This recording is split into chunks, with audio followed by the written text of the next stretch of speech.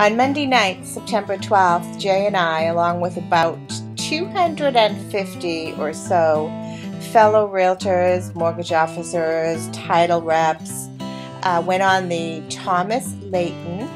The boat ride was sponsored by the Seacoast Board of Realtors, and we all went out on the Thomas Laighton. We met at the docks and uh, boarded the ship. It just so happened to be that that was the eve of the full moon. The following day, Tuesday, would be a true full moon, but we went out for what I consider a sunset cruise up the Piscataqua River, and we went out to the lighthouse past New Castle Island and under the Memorial Bridge, which is being torn down. So, you know, it was kind of really heartwarming to go under there one more time and really, really just cruise out the river that way.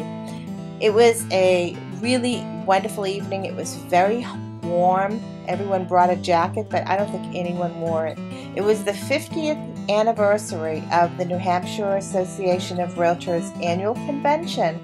And being held in Portsmouth was really cool. A lot of people went shopping, took advantage of everything the city had to offer, but the boat cruise was absolutely special. So thank you to the Seacoast Board of Realtors for sponsoring it and I hope you enjoyed my little video. It's a little bit on the dark side and a little bumpy here and there, but hopefully it'll give you a little feel for what going out the river was like on that wonderful night when we almost had a full moon and it just kind of glistened across the river and highlighted the boats and the land. It was just beautiful.